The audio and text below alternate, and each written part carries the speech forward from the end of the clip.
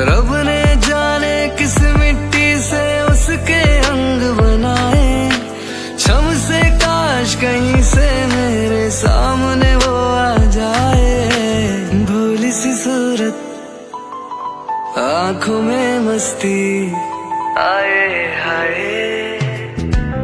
अरे भोली सी सूरत आँखों में मस्ती दूर झलक दिखलाए कभी कभी आंचल में छुप जाए। मेरी नज़र से तुम देखो तो यार नज़र वो आए।